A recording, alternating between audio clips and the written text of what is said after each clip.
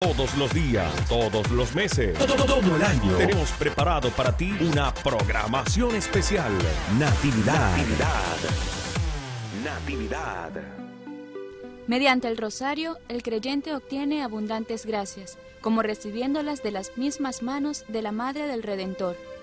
Estás escuchando tu espacio con los ojos de María, por Radio Natividad.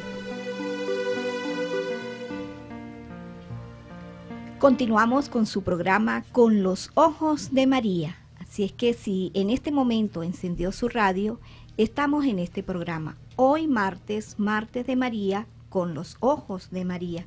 Seguimos aquí con nuestra invitada muy especial, invitada de, Dios, porque le hice una amiguita que estuvimos hablando de la oración y todo. Qué tema especial, es muy tema es bastante extenso, pero hoy queremos darle como unos pequeños tics, tics sobre lo que es la oración.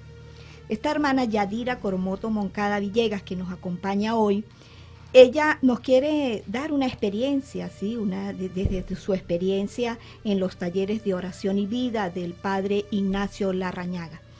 Queremos este, eh, bueno, todos, y yo también, ¿verdad?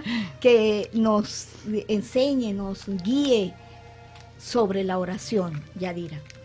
Gracias, Eva, por la invitación y esas bendiciones que estamos recibiendo todos los radioescuchas, el personal que trabaja aquí en, en Radio Natividad.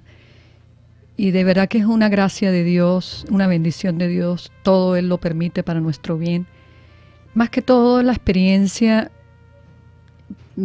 personal en la oración, muy mm, eh, con la espiritualidad de Padre Ignacio Larrañaga, ¿no? Eh, quien es el fundador de los talleres Oración y Vida, que ya se dan en muchas partes del mundo, aprobado por el Vaticano. Padre Ignacio en una época empezó a, a escuchar como algunas personas y a observar cómo las personas entraban a misa y no, no como, como que no les llegaba la misa porque no terminaban de, creer lo, lo, lo que es una Eucaristía, que es la presencia real de nuestro Señor Jesucristo. Y muchas personas salían como, como que la misa no les decía nada, como, vamos a utilizar una palabra eh, tentativamente como vacías. A lo mejor la palabra no es del todo ahorita, pero así como que no tenían esperanza, como que aún habiendo asistido a una misa. Entonces él empezó con el soplo del Espíritu Santo a darse cuenta y empezó a hacer experiencias de Dios, retiros de experiencias de Dios. Resumidamente, eh, con la bendición de Dios, se fundan los talleres Oración y Vida, en donde específicamente es enseñar a las personas a orar. Esa es, esa es la, la, espiritualidad, o sea, mm, como quien dice, la, es una experiencia, es una evangelización, o sea, se evangeliza, es muy cristocéntrica, Jesús principio, centro y meta.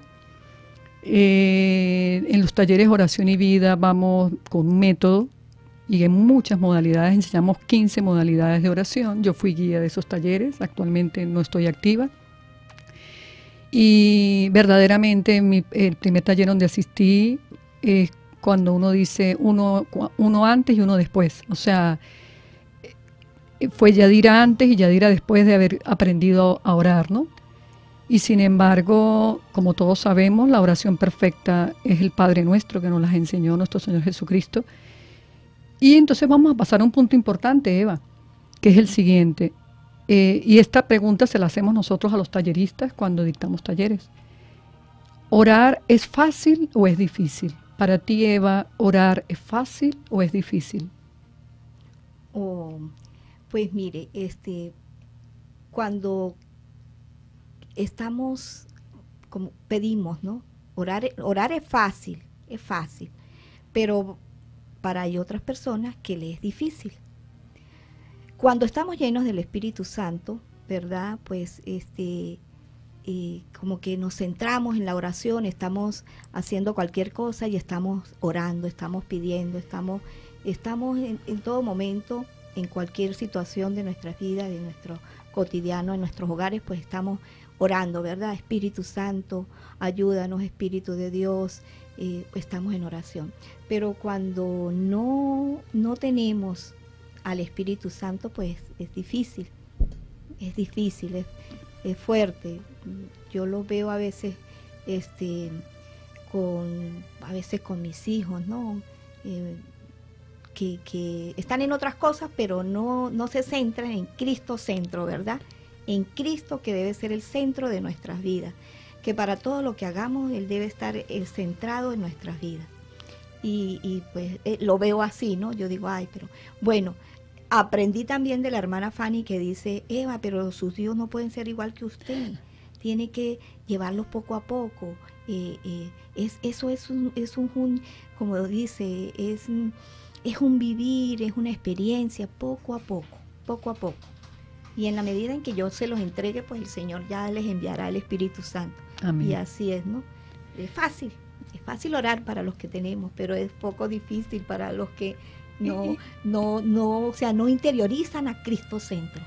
Y tocaste un punto importante, Eva, cuando dijiste, mis hijos pues se, miran por otro, o sea, no, no se concentran. Lo, el enemigo fundamental de la oración es la dispersión. Ah, Entonces, eh, la oración es gracia y naturaleza que de eso podemos también ampliar el tema en el otro segmento si en este no nos da oportunidad. La preparación de la gracia y la naturaleza. ¿Qué es la naturaleza? Nosotros, nuestra naturaleza eh, se resiste a permanecer por lo menos media hora sentado en oración solo, como nos enseñó nuestro Señor Jesucristo, eh, cerrar las puertas de, la habitación, cerrar la ventana, apagar el celular, apagar el televisión. O sea, que no haya ningún tipo de dispersión.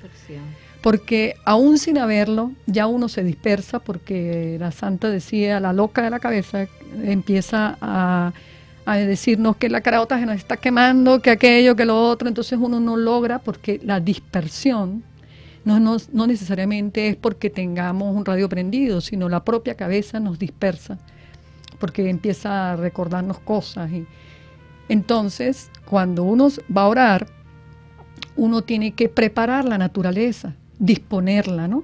Lo demás se lo dejamos a la gracia, ¿ve? O sea, lo demás, lo difícil es disponer la naturaleza, ¿no? Esa es la parte difícil. Por eso es que para ti orar es fácil cuando estás llena del Espíritu Santo.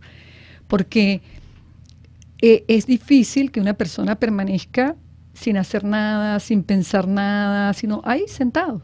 Entonces mucha gente que deja la oración por eso, porque piensan que orar es estar sintiendo cosas y no se trata de sentir, se trata de creer. Y el requisito fundamental es la fe, la fe. O sea, creemos firmemente que el Señor nos escucha. Bien, gracias, gracias.